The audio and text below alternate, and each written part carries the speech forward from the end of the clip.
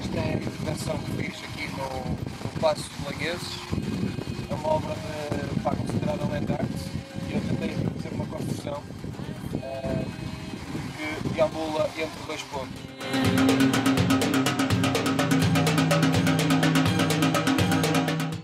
a ideia de barreira, não é? Quando vemos a percorrer aqui o percurso, uh, batemos aqui com uma, uma pequena barreira e consoante vamos andando percebemos que é uma, que é uma casa está enterrada uh, ou que está a ascender, não sabemos bem, e é este ponto que, eu, que me interessa uh, abordar aqui no, neste trabalho, que é a ideia de passagem.